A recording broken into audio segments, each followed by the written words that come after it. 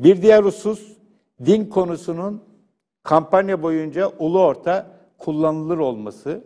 Yani AKP'li bazı adayların dini hatırlamaları, dine sarılmaya çalışmaları. Ee, bu noktada aklıma çok çarpıcı bir olay geliyor. Adalet ve Kalkınma Partisi'nin kuruluşunda, kuruluş döneminde Anadolu'yu dolaşan AKP kadroları e, karşılarında çok ilginç bir kitleyle karşılaşmışlardı.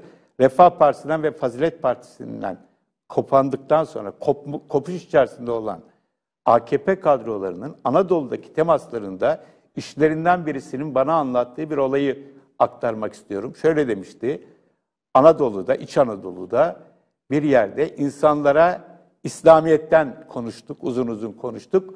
Orada şöyle bir tepki geldi. Biz bizim dizimizi bize anlatmanıza gerek yok. Bizim sorunumuz dilimizde değil, bizim sorunumuz ülkede işte pahalılık, işsizlik vesaire.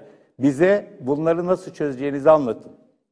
AKP'nin aslında İslami hareket içerisinde Refah Partisi'nin ve Fazilet'in kısmen başardığı o kopuşu büyük ölçüde gerçekleştirmesi siyaseti dini alandan çıkartarak, tabii ki dini hep arkasına alarak ama dini alandan çıkartarak daha dünyevi olayları dile getirmesi ve dünyevi sorunların çözümü konusundaki iddiasıydı. Doğru ya da yanlış. Bu iddia 94 yerel seçimlerinde de vardı.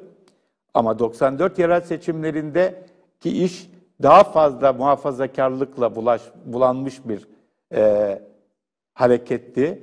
Şöyle diyorlar diyordu insanlar.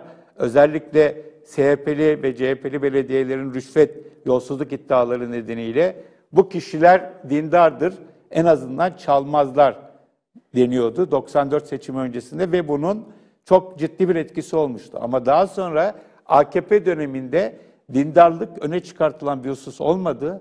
Tam tersine geride tutulan, hep tutulan ama geri planda tutulan esas olarak da somut sorunlara somut çözüm önerileri e, sahibi bir parti iddiasıydı. Ama artık söylenecek çok fazla bir şey kalmadığını görüyoruz. İnsanlar öbür dünyanın tapularını dağıtmaya kalkıyorlar ve olayı bir öbür dünyada ödüllendirme olarak görüyorlar. Bizim partimize oy verirseniz öbür dünyanızı garantiye alırsınız diye özetlenebilecek e, bir takım çıkışlar yapılıyor ki böyle bir şeyin olamayacağını en iyi bilen insanlar herhalde Türkiye'de dindarlardır.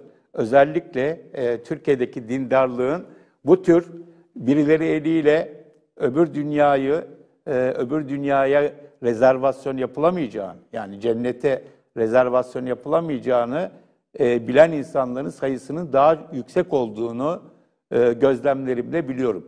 Burada da çok ciddi bu tür üsluplara başvuruluyor olması da çok ciddi bir kriz alameti olarak e, görülmeli bana göre.